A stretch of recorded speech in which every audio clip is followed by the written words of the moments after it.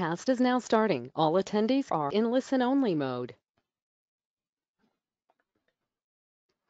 Welcome to today's Energy Central webcast entitled Leveraging Beyond the Meter Programs to Boost Revenue and Customer Satisfaction. A few housekeeping notes we'd like to mention for best results in viewing this presentation. We recommend using a wired high-speed internet connection as wireless connections can be unpredictable.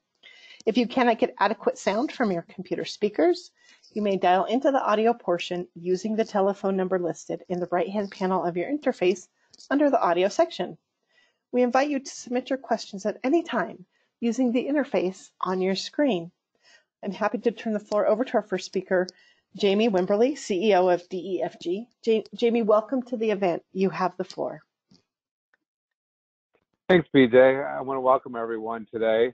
I'm excited about this. Um, you know, this this uh, is a webcast to talk about customer transformation, um, and DEFG has been a research and advisory firm focused on customer in the utility space for uh, now 17 years, so a long time. Um, we have 50 plus utility clients, which easily serve over 100 million customers. Um, we can go to the next slide, please.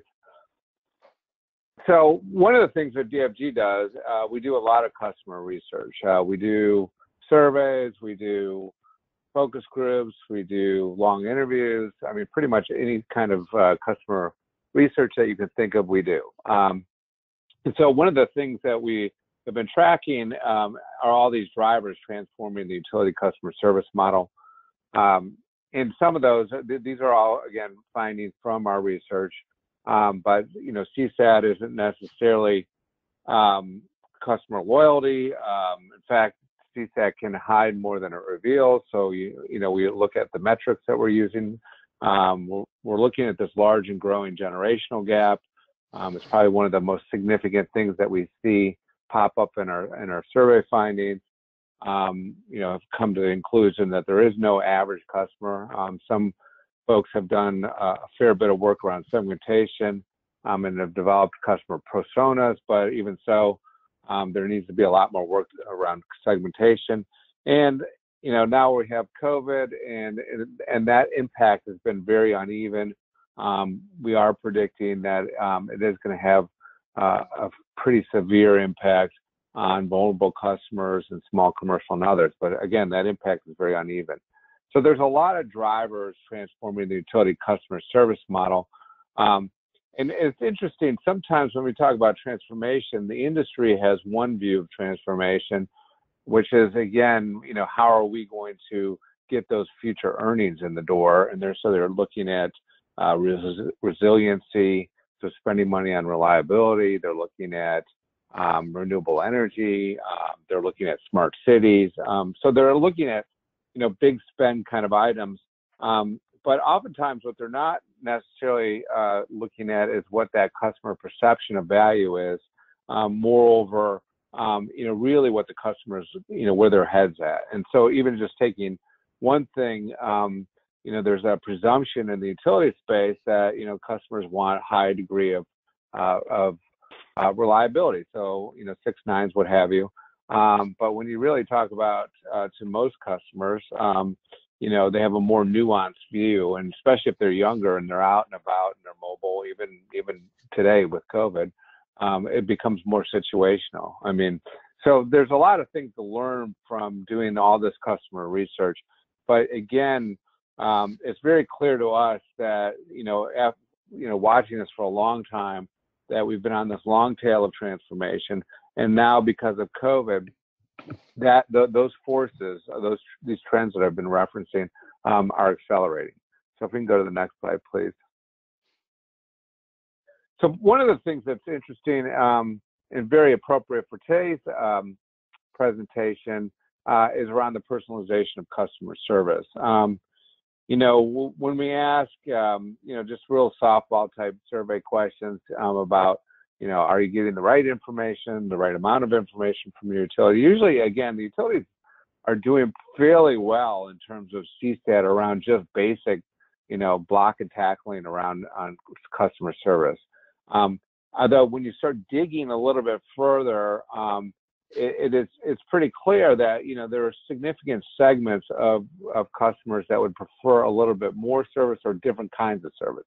Um, I think bill pay is a good example of that because bill pay, quite frankly, in a commodity market is is customer service or, uh, for for many. Um, but you know, one of the things I was so pleased that uh, to have the opportunity to um, do this presentation with uh, Rob and, American Water uh, Homeowner Services and Updater is because um, I, you know, again, one of the things that we've looked at is, you know, that new account setup and all those opportunities to really learn something around the customer preferences. Um, and again, that would kind of set the tone of their customer journey with you for a long time. Um, again, there's with the personalization of customer service, you know, one of the biggest divides that we see easily uh, is a generational one. Um, you know, I don't think it really is too far of a stretch that most of, you know, the systems, the processes, and so on um, were developed, uh, you know, decades ago in many cases, which makes them perfectly aligned to senior citizens and what they they need, um, not so much for younger people. We can go to the next slide, please. Um, so you, you, know what's interesting there. This opportunity um, is also a challenge. Um, the opportunity again to to really think through your customer strategy, what that customer service model looks like, you know what those needs are, um, and, and, and if you get it right, um, I think that there's a lot of opportunity both for for customer loyalty uh, above and beyond CSAT, but also revenue opportunity. But if you don't, what is already happening is that these fault lines have appeared, and we've identified them in our research. But certainly, um, you know, when we think of an exit, we think of, you know, in a competitive marketplace that, you know, somebody switches from one company to the next. But in our case, in our, in, in mostly with monopolies, um, there are exits. And so every time a customer uses less of your product through energy efficiency, that's partly an exit or when other third parties come in, like in California, there's a lot of community energy aggregators in other parts of the country. Uh, you know that can be an exit. Um, when when basically customers decide just to, to sell self-generate or you know install renewable energy or other things um, on their side of the meter, uh, again that's a hedge and or a potential uh, partial exit. Um, and quite frankly, every um, year we do this annual uh, survey of the customer uh, or state of the customer in the utility sector. And the last question we've asked for a long time, so it's a tracking question. You know, you know, if you could, would you leave the utility for any reason? Uh, and and consistently, um, you know, 25% of the people uh, that that we surveyed uh, said they would. Um, so again, there's a lot to be um, really optimistic about in terms of like, you know, what what could happen, what if, um, but also there's some challenges here. So uh, with that, I'm going to turn it over to Rob with uh, American Water Homeowner Services. Great. Thank you, Jamie. I appreciate it. Good afternoon, everybody. Uh, we've got a record crowd here today, so we really appreciate you folks joining us. We've got an action packed agenda, um, a lot of data to cover, so we're going to move very quickly. But uh, as PJ said, you will have uh, copies of the deck and uh, feel free to follow up with any of us after the event. So, um, and, and if you don't know the DEFG group and Jamie Wimberly, please get to know them. They are the voice of the utility and the utility customer uh, throughout North America, and they've done some really great work. So uh, definitely get to know that, uh, that group. So we find ourselves in a perfect storm, if you will, um, I mean, who would have who would have seen any of this coming in early early part of this year, and just all the things that have changed, and as quickly as they've changed. So multiple problems have all converged. But the good news is we've got many solutions as well. And I think if anything, the COVID pandemic has really, you know, forced us to look at kind of new problems in, in new ways, and we'll talk about that in just a second. But basically, you know, to no surprise, we're dealing with historic levels of debt. Uh, customer debt is accruing rapidly due to unemployment. Uh, I mean, who would have thought 30 million unemployed? Utility debt, debt was already significant and growing, but now with all of these uh, debt moratorium, disconnect moratoriums, um, that really just exacerbates the problem significantly. And, and to no surprise, it's our low income customers that have really been hit the hardest. Next slide, please. So I, I love the uh, definition of insanity. I've used it uh, in my life and in my business life for many years. I assume it comes from Albert Einstein, but it's really helped me, and I thought it was very uh, appropriate for the, the, the basis of this webcast. But just that definition of insanity of doing the same things over and over and over again, but this go around expecting things to be different, expecting different results. And we can't fight new problems with the same old solutions. And obviously, utilities, uh, as great as they are, and I've been involved with utilities now for 20 plus years.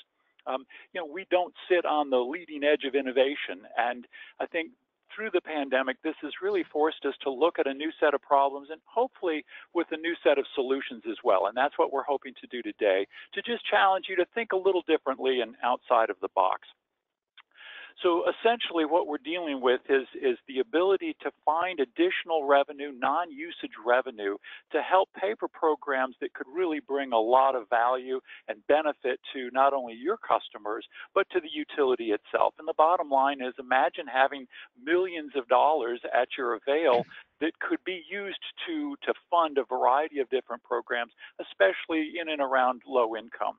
And keep in mind that behind the meter or beyond the meter programs are not new at all. They've actually been around for over 100 plus years. So, um, Dennis, if you will, tell us a little bit about what the beyond the meter program is and does. Sure, thanks, Rob, and I appreciate that setup. So, what do we mean by beyond the meter programs? Well, it's really descriptive in its title, but it's beyond the core service, energy, and service delivery programs that most utilities provide today. So you provide energy to your consumers, you bill and collect, and the, that usage stops at the meter. What we're talking about are programs and services, generally customer facing, that solve customer issues that are inside a consumer's home. If we solve these issues, they can bring value add to your customer and revenue to your bottom line. Next slide, please. So in order to be successful here, you need to be a provider of solutions. As Jamie mentioned, in this transformative environment, it's changing the way people look at utilities. We used to say you'd have the right to win as a utility, but as expectations change, now it, it becomes an obligation of utilities to serve customers how they need to be served and a after the meter program is a natural and logical extension of your relationship with the consumer. Yeah, that's exactly right. And and you know, it just boils down to meeting customers where they are. Now, obviously, utilities we're, we're not the you know we don't have to be the innovators of the world, but um, just thought this would be fun to just look at some quick examples um, that, that will really, you know, make us realize that innovations make life better. And the old adage, you know, lead, follow, or get out of the way. We have an opportunity to do things, especially with these beyond the meter programs, that can really help us to meet customers where they are, especially at their time of need. So, you know, just the advent of, of you know newer faucet technologies where now with one hand and one valve you can control water pressure and get the right amount of hot and cold water you know together as opposed to trying to do that with two hands. And just a simple idea that really is a life changer or how long did it take us to figure out that wheels on a suitcase really make travel a lot easier as we go in and out of uh, uh, airports, et cetera, or how Uber has, you know, the advent of ride sharing has really changed the way we can um, uh, can transport and, and for delivery services. And, and it really shows how broken the taxi cab services were to begin with. And then someone like an Amazon. I mean, who would have thought that this online bookstore would really revolutionize the way we shop, uh, especially during a pandemic? And I think most importantly, when I think of Amazon, for all the purchases that all of us have made on Amazon, when was the last time you really spoke to an Amazon representative? for me and our family, never. Uh, the, the, the, the, system was designed to be fully digital and doesn't require interfacing with, with live agents. So let's take a look at uh, kind of other ways to, to deal with this. So Jenna, it's to you. Hi everyone, Jenna from Updater here. Um, I'm a marketer, uh, marketer at heart, so I'm going to approach this from a marketing perspective. And the the most successful products and services solve very simple problems. And you can see a few examples of those here on the screen, right? What if there was a simple way to hail a cab? I think we know what technology company or solution we're talking about, right? Or what if there was a simple way to host a video meeting during a pandemic or browse homes without a real estate agent, right? These sound like very simple problems. And if you, as Rob was talking about, meet customers where they are, you're going to be very successful. Um, the founder of Instagram actually has one of my favorite quotes of all times has said this, which is great products sell themselves. And he's saying, I think he's right. You can ask, you know, any of the founders of the companies that we reference here on the screen, you instantly know who we're talking about. If you don't, we're talking about Uber, Zillow, and Zoom. And taking something complicated and making it simple is one of the most powerful ways to truly win over your customers and a great way to scale a business. And again, you can ask Zillow, Zoom, or Uber about that. But let's talk more about our own industry, right? So utilities, in my opinion, are in a unique position to handle your customers' home needs. So let's apply this same sort of methodology to what's on the screen. What if there was a simple way to blank, reduce my carbon footprint, or sign up for electric and internet at the same time, or fix my appliances when they break, all of the above, right? You're in that unique position to actually handle those. And if you can provide a solution to these simple problems, your customers will absolutely thank you for it. Now, if we shift gear slightly, we identified a few simple problems. You know, we just gave examples of other companies and the solutions they solve for these simple problems, but we have some of our own here in our industry. So we as a group have identified a few of those problems and of course have suggested solutions for each. So Rob, would you like to take it away and share some of our problems? Yeah, absolutely. And I thought Jamie made a great point yesterday when we were doing a practice run that, you know, the, the, the function of our homes, our residences have changed significantly over the last, uh, you know, six months. I mean, who would have thought that, that the vast amount of, of, you know, all of us in a variety of industries would be working from home or schooling our children from home or providing elderly care at home or child care at home and how now, you know, anywhere from 10 to 30 different Internet of Thing devices are also connected. And it's the electric companies and the gas companies and the water companies that power our homes. And, and so it, there really is a tremendous opportunity. So quickly, it, it, you know, to no surprise, Americans are staying in their homes longer. 10 years, 10 years was the average back in 2008. Now it's up to 13 years. So the, the, the time we spend in our homes as far as ownership has gone up.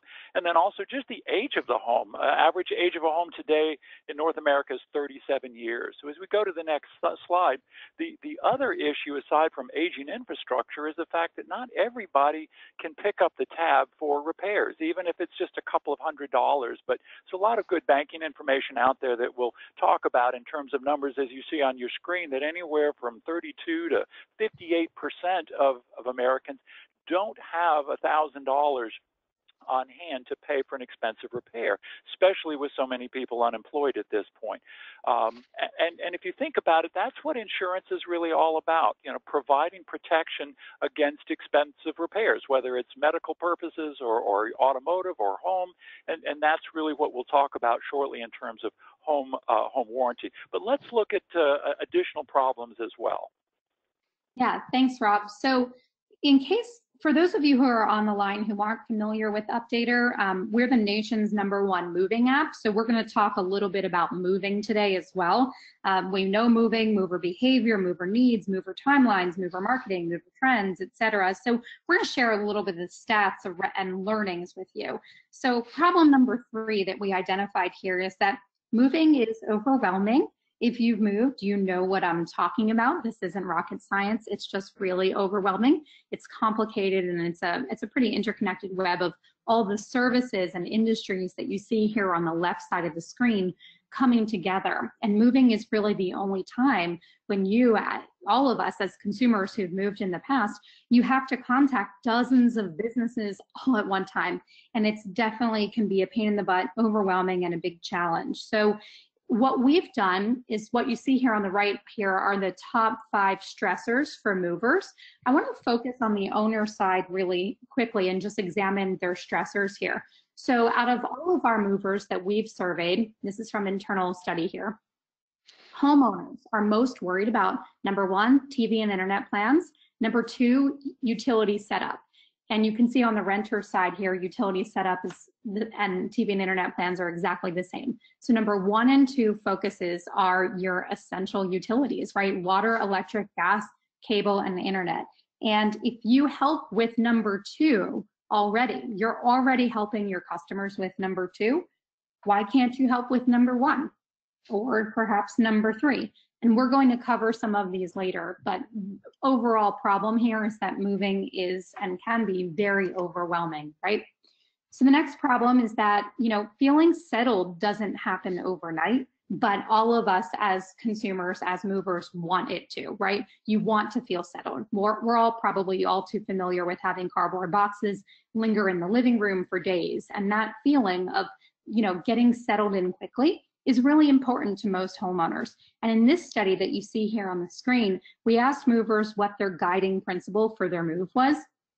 And you can see that 70% said that settling in quickly was most important. And they even added comments like, you know, I care most about things that make my adjustment easier, or I just have to make sure that I can live. I need my electricity, right? And getting back to normal is incredibly important to them. So Rob, let's uh, let's just recap these problems before we tackle some solutions.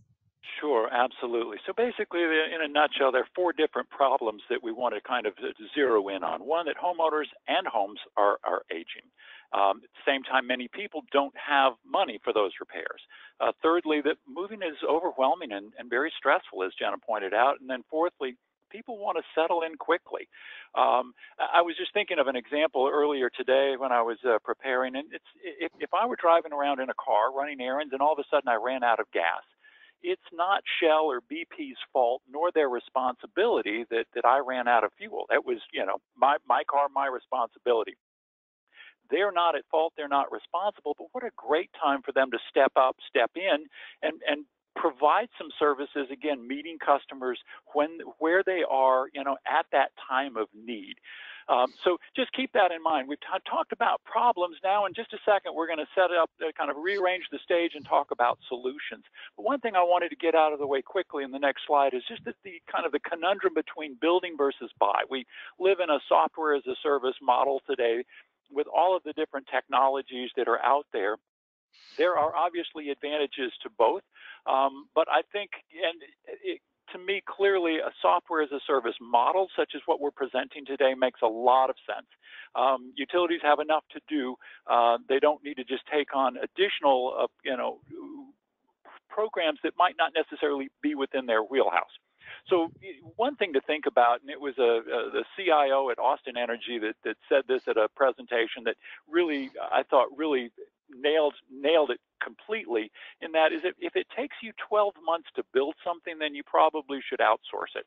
Uh, secondly that outsourcing allows you to easily pilot programs with little to zero investment. Uh, outsourcing is always easier faster and cheaper than it is to build something internally.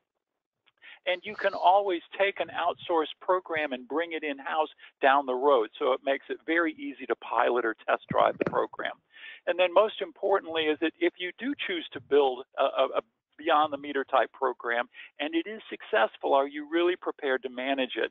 I've talked to numerous utilities here just recently that in each instance have built a very successful program, but now realize that as it's grown and expanded, it's just become a lot more uh, than they had ever expected in terms of managing it.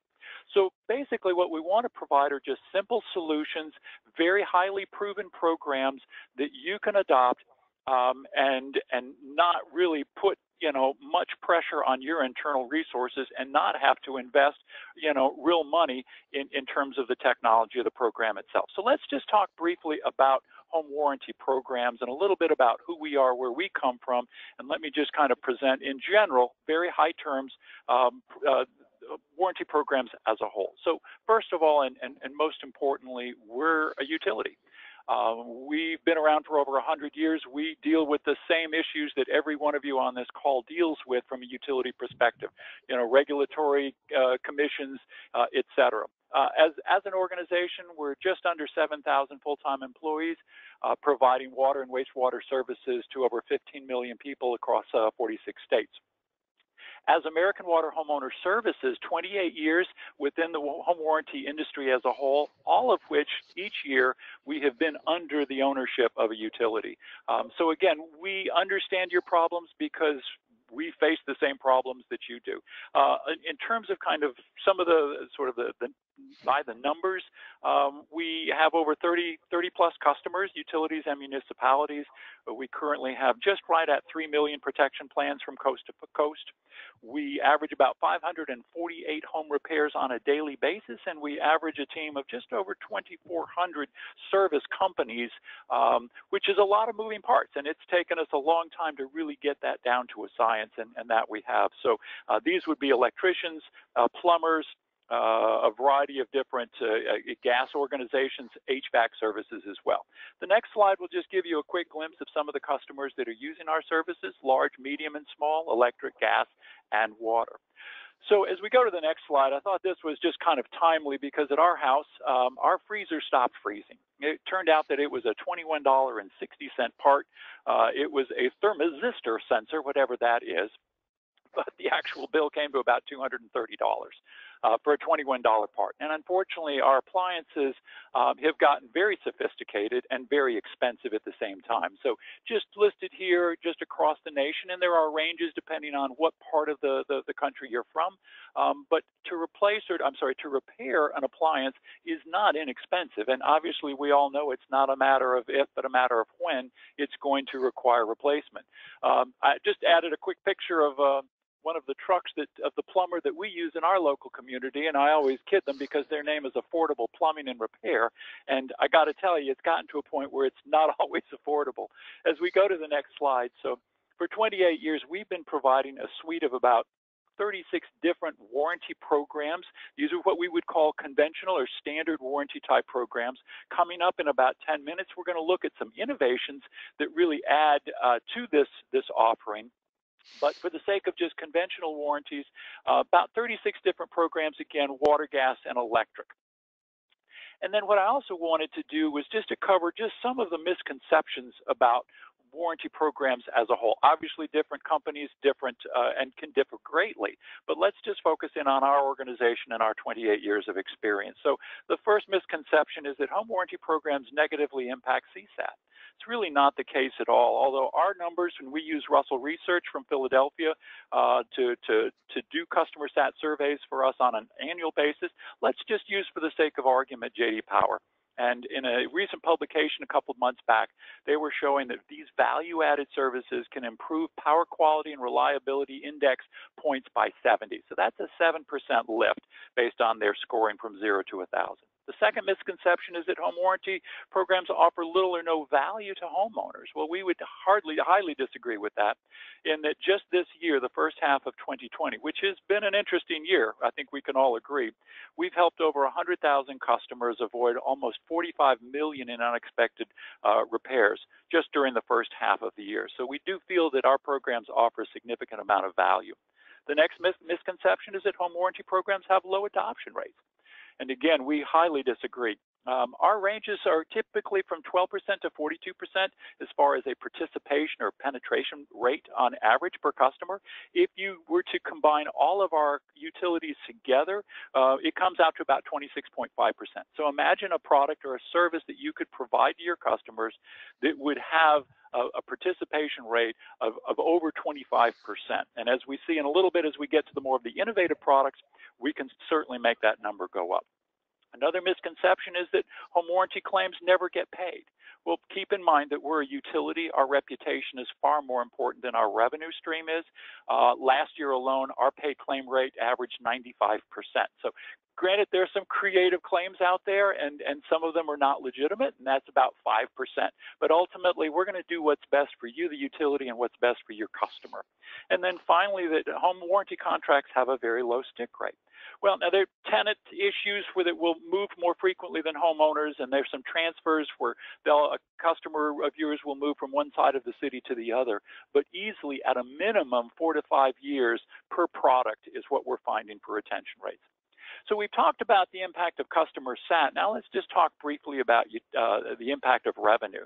So I was looking over the uh, attendee list, and we had, I think, what 245 registrations for this uh, webcast. So we're delighted that you're all here.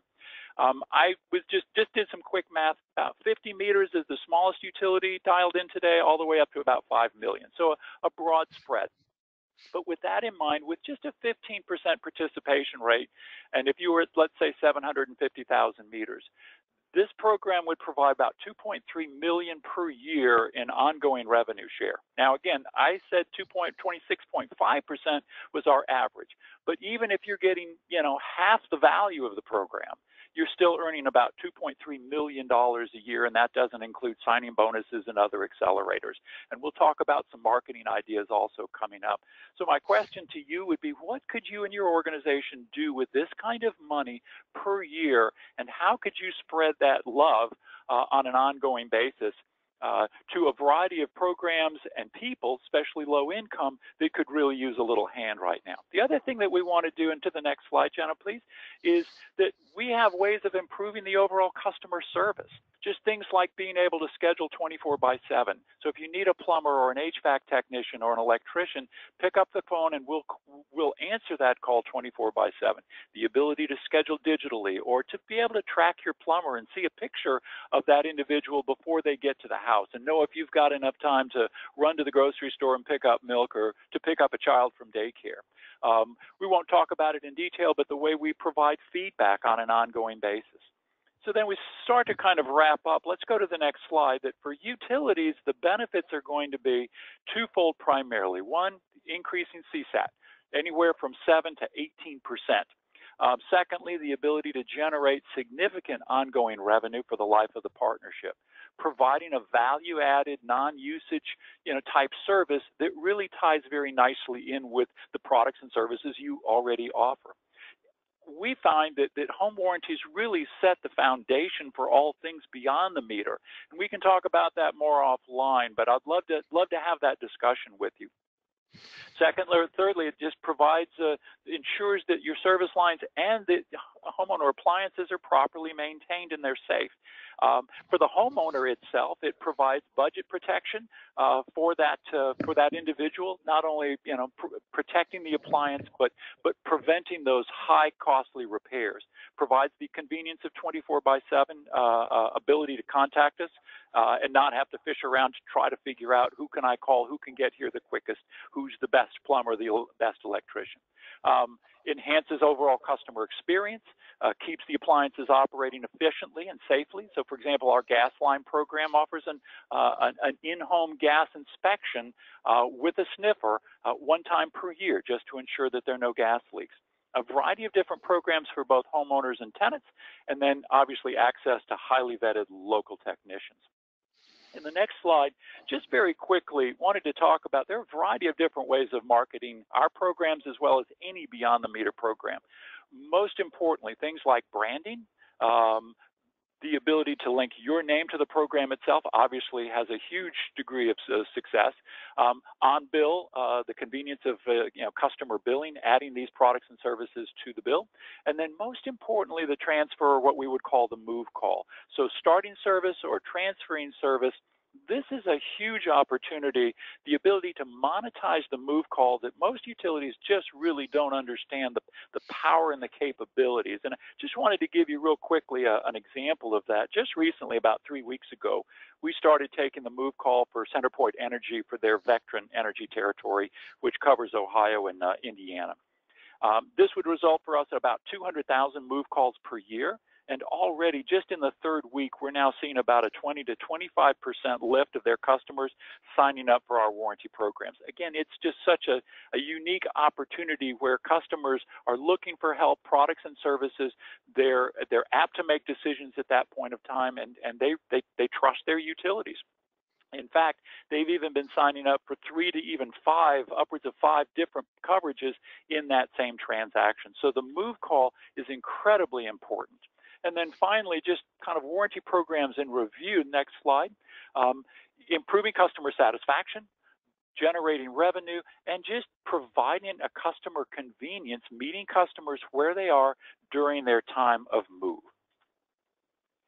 Next slide. Rob, that was great. I really appreciate that overview. As the listeners can clearly hear, there is certainly uh, wonderful overlapping solutions between a home warranty program and a mover concierge program. But mover concierge programs and expectations certainly have changed.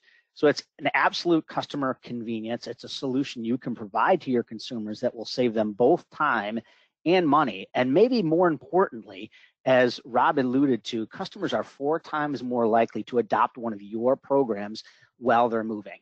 Next slide, please. Jenna covered this, but in addition to the incremental activity that the consumers have to solve while they're moving in, it's also important to note that every move is different. If you're a renter move is going to be different than a homeowner move. If you're moving across town, it's going to be different than if you move across the country. Utilities with the right partner are uniquely positioned to solve this issue. So the mover's opportunity it's really being able to meet customer needs during the time when they're moving in and then provide a platform for them to uh, adopt all their home services programs, both for what they need when they move in that we covered on our hit list, if you will, and the priority, as well adoption, as well as adoption of your programs. Notice we have yet to really hit on the revenue element because if we as solutioners solve these problems, the revenue will follow. Hey, Dennis, this, this is Jamie. Um, can I can I jump in here for a second? Please do. Yeah, you know, I think there's such an opportunity for utilities uh, to get this piece right. Um, basically, uh, you you got uh, about 60 days uh, of that customer being very engaged uh, around new services, um, open to to new ideas, um, and I've I've just seen so many of our utility clients um, you know, take a different approach to to new account setup. Um, and and yet, I again, I think it's such an opportunity to get you know uh, to really get the right data to to start that relationship off the right way, um, to really get to know that customer. Um, and and again, once that that that is the customer journey, the beginning of it. So um, I'm glad that you're pointing this out because again, when our own research is backing up exactly what you're saying. Thanks, Jamie. And what we'd like the opportunity to do is tell you how we're thinking about it differently, not just how we're thinking about it, but how we have actually deployed and solutioned a movers concierge program different than it's historically been done in the past. All right, I'll jump in here. Thanks, guys. So we know that concierge programs have been around for a while, right? But what we also know is that this talk today is about innovation and transformation and revenue. And historically, these programs have tried to generate money off of movers. Why? Because it's easy, right? You know, Jamie was just saying you have a 60 day window. I know for a fact we have lots of stats. Actually, we have a post on energycentral.com detailing movers spending patterns and how things shift. Obviously, Dennis mentioned movers are four times more likely to try a new product or service. Their loyalties are vulnerable. 80% of them are making long term spending decisions within six weeks of the move. And a lot of those spending decisions are on kind of like lifetime value products like what you offer, your programs, internet, home security, appliances, etc. Um, so it's relatively easy because this is a, a time of like hyper consumption, right? So we just spoke about how, you know, brand loyalties have become vulnerable. It's very easy, but that's not really what we want to talk about today, right? So we're talking about adding value, solving the simple problems, right? And as Dennis mentioned earlier, being a provider of solutions, right? So this slide is a little goofy and call me corny, but I'd like to introduce Updater as a solution, which is not your grandfather's call transfer program. So Updater is the nation's leading moving concierge app. I mentioned that earlier. We launched in 2011, and today we're the leader in relocation technology.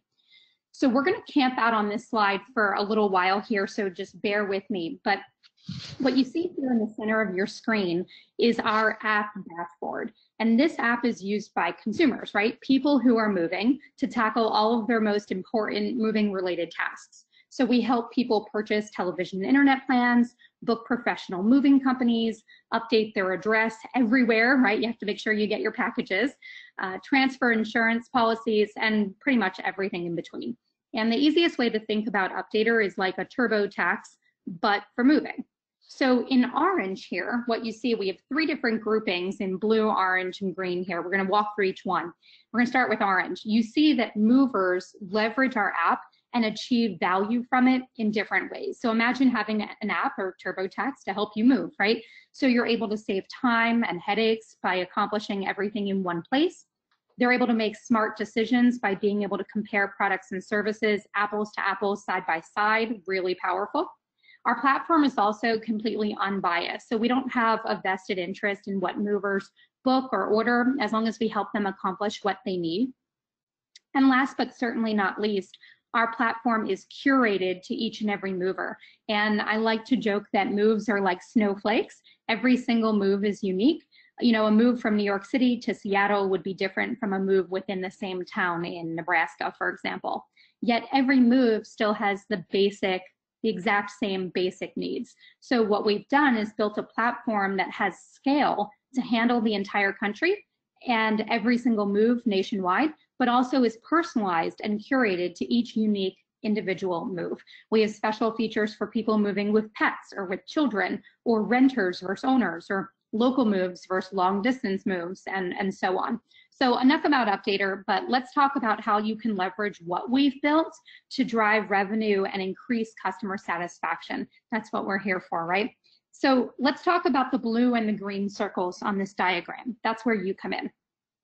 So on the blue side on the left, your team talks to movers every single day. And if you're at all interested in building a true digital mover journey, not just landing pages, then this is for you you can offer our app to your customers in a turnkey fashion. We'll help you customize it, add your branding to it, add your own programs in, add your warranty partnership with American Water, perhaps, and more. Um, and you can configure Updater for your own customers. Why would you want to do such a thing? Well, because all moves are snowflakes, as I mentioned. So by doing this, you will actually improve your service level increase customer satisfaction, and personalize a mover experience just for your own customers. And as a result, you will also increase revenue. As I mentioned, we can help you sell your own products and services and drive enrollment for your own programs within Updater. So this is essentially, you know, a white labeled mover journey that is awesome. So let's flip over to the green side of this diagram. Millions of movers nationwide use our app regularly. We currently process over 25% of all US household moves, and movers are invited into Updater approximately 30 to 60 days in advance of their move to start preparing and getting organized. And if you can remember back to one of our previous slides, we shared that the top stressors and the number two stressor for both renters and homeowners was utility setup. You need this done in order to live, right? You need your electricity. And this may sound a bit futuristic, but imagine a world where you could start, stop, or transfer your electric, gas, water, cable, internet, everything all in one place, all in one place, right? And we're working to enhance the digital turn on process for all home services. So what we want to do is A, provide immense value to movers in the click of a button, and B, help you save time and money on your mover phone calls. Additionally, by including your programs, products, and services within our platform, like actually inside the app, we can help you increase digital enrollment through a completely new sales channel, the updater movers that are already within our platform. So as Jamie and Rob both mentioned earlier, right, now is the time to think a little bit differently and take some action. So while we camped on the slide for quite some time, as I mentioned, I believe it's really valuable to demonstrate the fact that there are more effective digital solutions than landing pages, and there are more like very valuable ways to solve mover problems in addition to a call transfer solution. And there's innovation in the mover space that's truly worth paying attention to.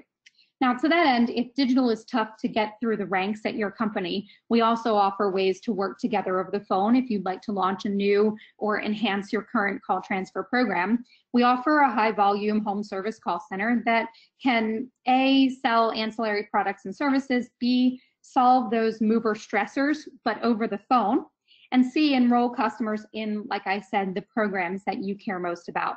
Um, Updater actually acquired a company named Bridgevine at the end of 2019, and Bridgevine's capabilities in this space are truly paramount. Uh, there aren't many call centers that can say that they had zero outages during the COVID switch from the office to a work from home scenario. And our call solution includes everything from machine learning to speech analytics and everything in between. So if you're going to have a call program, you definitely want it to be the best in class technology that's powering it. So what's really great about this is that anything we can do over the phone, we can also do with digital excellence and truly unprecedented tech infrastructure. And anything that we can do digitally, we can also do over the phone. So as I mentioned, you know, we take an unbiased approach so that you can tell sell more of, of what you really truly care most about. So that was a you know kind of like a quick overview of Updater and how we can solve the different problems that your customers are facing. In addition to that, as we said, you guys are in a very, very unique position to be able to solve the num at least the number one and two stressors on the list and updater can help you solve three four and five all at one place right we want to be a provider of solutions as companies we want our consumers are expecting more of us so therefore we need to provide those solutions so i want to cut a little bit now to the fun stuff uh, just like rob shared some of his revenue projections i'm going to pass it to dennis to share some of ours Right. So so thanks, Jenna. So what what could this mean to you? What could this mean to us? What could it mean to the marketplace? Right. If we focus on solving really simple issues in an elegant way and give consumers one place to stop, the revenue will follow. Now, every marketplace is slightly different in its mobility rates and participation rates will change by individual regulatory markets. But revenues in this space are real if you can get participation rates in the average of 70% and you have a you have 100,000 or so movers in your space, you can get upwards of three quarters of a million dollars of incremental revenue. Now, for you accountants in the room, this revenue is generated by heavy lift from Updater. So therefore, almost all of these revenues drop right to your margin line or right to your bottom line. So to restate what Rob said, what could you do with three quarters of a million? How could that help your budget? How could that help advance your programs within your utility? Next slide. And guys, this isn't just theory. We have developed and deployed this program with some of the top based clients in the marketplace. Some of the top five energy companies in the country are using, deploying these solutions that we've outlined to you. And it means real things. It means call center savings in terms of avoided cost call costs. It means incremental revenue as a result of other products and services sold. It means adoption of your programs, whether it's energy efficiency, weatherization, warranty, or otherwise, at a material and scalable level. And it's all done with world-class CSATs and NPS scores. So as we move through a couple of the things, I won't labor on this slide too much, but we do have a utility uh, guide for choosing a concierge program for you and your and your constituents. Um, just give us a quick chat and we will send uh, anybody who wants a mover's guide sent your way, we will send it your way. Um, next slide. Great. Hey, thanks, folks. And while I'm uh, just about to wrap up, but please keep in mind that we'd love to take your, questions. I've got just a few more slides and then we'll be done and we'd like to just uh, end the webcast with uh, as much interactivity as we can. If we can't get to your questions in time, and we'll actually stay on over an hour if there are um, enough questions to, to justify doing that. So hang around with us if you'd like. Um, but uh, for any questions that we can't or don't get to, please know that we'll be following up with uh, each of you via email as well. So this is the fun part, and, and in fact, we could go to the next slide, Jenna. We could spend a whole another hour just talking about the innovations of, of the programs that we've been working on. Um, and in fact, we do have a, a, a, new webcast coming up on November the 9th uh, that'll solely focus on marketplace uh, uh, technologies and, and ways that you can really take your existing marketplace to a much higher level, or if you don't have one, why you really should consider marketplaces as a whole. Uh, so this was actually a Chartwell slide going back to uh, last year at um, uh, EMAX in New Orleans, if, uh, if you'll remember that, for any of those that were attending. And I would dare say that now at least 35% of all utilities um, have a marketplace of some sort or the other the problem is uh, is that and many of you are uh, uh, that you of the utilities listed are actually on today's call. Um, I think the biggest challenge with marketplaces that we've learned, because marketplaces came out of nowhere just several years ago, and certainly they're, they're clearly their success has been phenomenal. The problem is, is that most marketplace sites are very um, agnostic, if you will. It's a certain set of uh, products or services, and what you see is what you get. And that, to me, and, and based on our, our, you know, our efforts, our research, really is not the right path to take. Uh, let's go to the next slide, please. So we've talked about conventional warranties, uh, you know, appliances and HVAC maintenance and repair and, uh, you know, electrical issues, et cetera, throughout the house. And, and those are wonderful programs. I've, I've, shown you that they typically will have a 26.5% adoption rate, uh, more if you'll let us kind of help you through that process.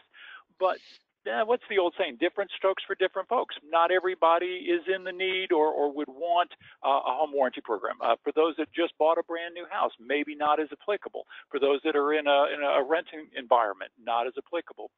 But we contend that there are a variety of other products and services that would really uh, complement what you're doing through your mover services and what you're doing with your conventional warranties that really add additional value. And let's just talk about those uh, very quickly here. Um, so, for example, consumer electronics. Um, there are great partnerships out there that we can help you with and some products of our own that would really allow you to provide coverage for consumer electronics. Uh, things like smartphones and tablets and laptop, desktop computers, uh, preventing uh, or, or picking up the tab for an accident or just equipment failure, for example, built-in virtual surge protection in these programs, and they're very, very reasonably priced, especially compared to the cost of many of these devices today. Um, getting into the smart home and the alarm, uh, not only the equipment sales, but installation and support. Uh, there's some great opportunities there that we would love to talk with you about. Uh, products like technical support. Now, with so much going on in the house today, the ability to pick up a phone, talk to somebody 24 by 7 on an unlimited basis about anything that plugs into a cellular signal or a Wi Fi signal, uh, even with um, the remote diagnostics dial in, you know, so that they can detect uh, viruses, et cetera.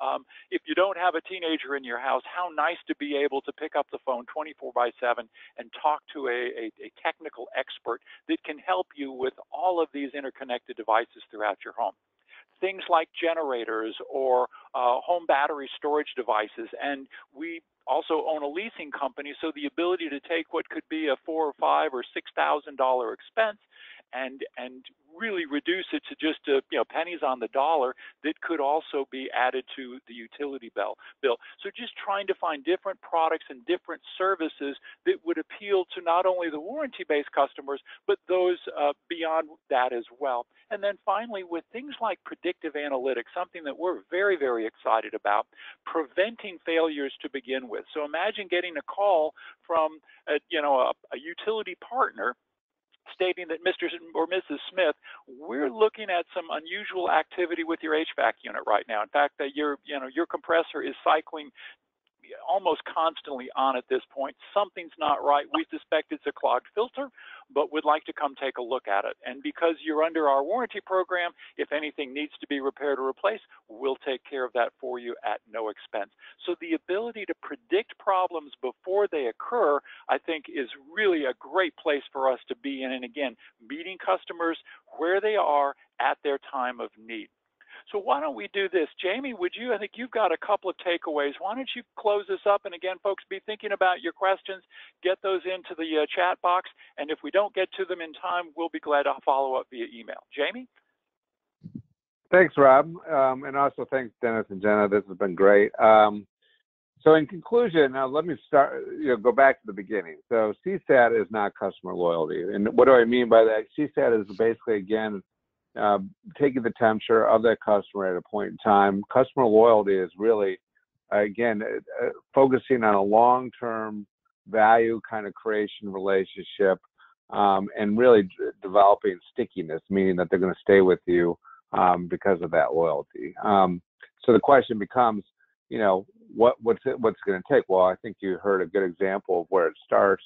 Um, again, is developing the right relationship um, behind the meter programs um, drive both revenue and customer satisfaction.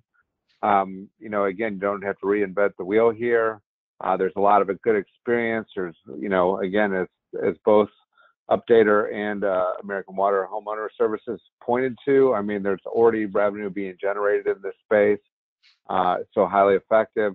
Um, your your customers, quite frankly, are already there. They're thinking more about holistically about their home, as Rob mentioned. Um, you know, their homes more than just a home these days. You know, literally, it's their office space.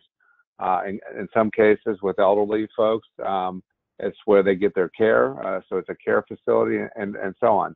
Um, so they're going to expect more uh, from from the brands that they associate themselves with. Um, I think American Water and Update have both shown that they are innovative companies. Um, so I was, I was, pleased to to be able to present with these folks. Um, and let me conclude again. we are in a per- period of accelerated customer transformation. So when we talk about industry transformation and we talk about all these big concepts around uh, resiliency and renewable energy and clean energy and, and so on, um, there absolutely has to be uh, a focus on customer transformation for that to be successful. So um, with that, um, why don't we, Jenna, why don't we open it up for questions? Great. Thanks, everyone. We really appreciate you taking the time. We have plenty of time for questions, and we have a few that came in here. Been monitoring the chat as we go. Um, Jamie, one came in for you at the beginning uh, that actually really ties nicely to what you were just talking about in terms of customer transformation. What do you think is the biggest barrier in the utility sector in regard to customer transformation? Well, I think up to this point, it's a it's really a, a it's culture. Um, and what I mean by that is that um, you've had uh, a very proud history of utility executives looking to um, electrify uh, the nation and, and really build big, powerful uh, systems and, and power plants and so on. Um, and really have not really focused on customer as a key part of their uh, overall uh, corporate strategy. Well, that has to change. And in order for that to change, uh, the people inside uh, utilities need to be open to new ideas and new ways of doing things uh, with a focus on customer. So again, I, I think it is changing. Um, I think, quite frankly, um, some of the pain that we're going to be going through around COVID um, and its impacts on debt um, are going to force changes. So, um, but again, I, I, the people within utilities need to be on board, especially the executives. Right, absolutely. Change comes from the top. Um, Rob, we have a question for you, putting you on the hot seat here. Uh, typical, what does a typical implementation timeline look like for a warranty program? Sure. Great question, Jenna. Thanks. Uh, I mean, real quickly, folks, uh, high level, uh, you know, for some of the more digital, uh, virtual type products, uh, could be as short as three to four weeks. If we're talking about, you know, some of the more advanced products that require, you know, a fleet of service uh, companies in your local community, and billing integration and CRM integration, if we're doing call handling, that could be as, as, as many as four to five months. So just depends, but, you know, these programs are easy to, to kind of do a phase phased implementation, sort of a crawl, walk, run. So, you know, starting with some simple products and then uh, moving more towards uh, more of the complex uh, products and integrations. Thanks. Great, thanks. Um, Dennis, I'm, I'm spreading the love around here. Question for you. Um, with the Mover Concierge program, can you support the adoption of the utility's own programs or your or just your own providers? Oh, that's a good question, uh, and, and, can be a, a, common practice in the space. But you know, as we mentioned earlier, I think actually, Jen, I think it was you that mentioned it. You know, every move is a snowflake, um, so every move is different. Likewise, every utility and marketplace is different. It creates different marketplace needs and whatnot. So absolutely, depending on what the what the um, constituents of the individual utilities marketplace are trying to accomplish, we will adopt and and uh, develop a program that's consistent with those needs, up to and including advancing um, utility programs and services. Okay, great. We also received uh, a few questions that sound like they could be from the same person here. I'm going to read two of them and I, am going to ask all three of you uh, to tackle this one. I think they're more uh, suggestions for the industry. So the first one is, would the utility industry consider to build the utility companies as a Costco perhaps for coming home services? And the second one is, um, you know, could the utility industry consider to update itself to be more like a managed service provider with a much broader spectrum of services than just electricity and natural gas? Do you guys have any thought on, um, you know, if the industry is moving in this in this direction, and and um, and if so, you know, what are how how is it going? Jamie, I think that one's got your name written all over it, my yeah. Well, you know, I've I've long thought, uh, you know, we need to move away from a commodity-focused industry. Um, quite frankly, we need to move to a service contract or service-oriented, um, which include and, and, I would love to see the commodity piece of this just go away, um, because quite frankly, from a customer perspective, a KWH has no real value uh, to to them. Um, what does have value though are, um, you know, again, things that we talked about. I mean, it's it's an integrated package of services uh, that it's focused on convenience. You know, taking away uh, all this you know concern and frustration over over these services, and including you know what happens when they break and so on. Um, so I think we're on that way. Um, you know, I think again to achieve that objective, the utilities need to really kind of when they think about big picture, what their strategy is. Um, you know, really what those vendor partnerships look like. Um, you know, to, to Dennis's point, I, I think there's an opportunity and a need here to really kind of rethink that model to really truly become partners um, rather than, a, you know, this utility vendor relationship that's existed for a long time. Yeah. Um, so again, I, I think there's a lot there. Dennis, yeah, you want to say something? Yeah, sure, Jamie. I, I, let me just build off that, right? I think you're spot on, and, and really everybody talks about the economy being a we were switching from a product economy to a, to a service economy. And really, I would argue we're moving from a service economy to an experience economy, right? Consumers are much more sophisticated today and they expect a certain experience when they engage with you. Uh, you know, certainly Uber's the example of it, but that expectation is now on utilities. So we have to meet the customer where they want to engage with you, and I think that's an important part of solutioning with any program you're going to adopt uh, within the within the utility space. Yeah, and I think that's a great point, Dennis. And it's, it's you know important to point out. And I think we all know this. We're kind of preaching to the choir, but you know, your our utility customers, your your end users are not comparing you with other utilities. They're comparing you with Uber and you know pizza delivery and uh, you know all of the Amazon type experiences. You know, if I can pay for my pizza via my app or or you know watch it in turn by turn directions, why can't I can't why can't I do that with my utilities? So I think it's important to know that you know our our consumers are getting much more uh, far more intelligent and and you know they're they're they have higher expectations than ever before. Jenna, I know it looks like we're over the hour. I know we still got a lot of folks on uh, on the webcast with us. You know, one thing I'd love to just point out is that you know, for any of those that would like to do a deeper dive into any of these products, uh, you know, coming from uh, Jamie's organization DEFG, coming from Updater or American Water Homeowner Services, uh, please reach out to us. You have our email addresses here. We would love to follow up, and we can do a deeper dive and really get into more particulars um, specific to your unique utility and, and your environment. So please don't hesitate to reach out to us. Um, Dennis, would you like to close us out? Well, fair enough, Rob. Thanks for putting me on the spot there. Absolutely, I really would would, uh, would like, to, like to thank Energy Central and uh, DEFG and others uh, as we were able to sort of give you these this content uh, in, in a very seamless and smooth way. Wonderful. Well, with that, uh, uh, we will bid you all adieu. I pr- hope that you and your families are safe and healthy. And once again, thank you all for joining us today. And uh, as Dennis said, thanks to Energy Central for hosting us. We really appreciate it. Um, have a great day, folks. Everybody stay healthy. Cheers.